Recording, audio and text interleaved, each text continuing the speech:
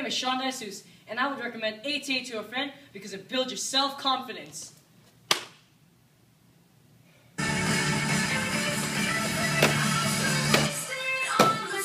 Yeah!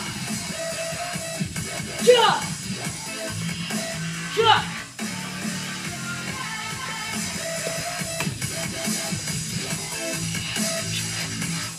Yeah!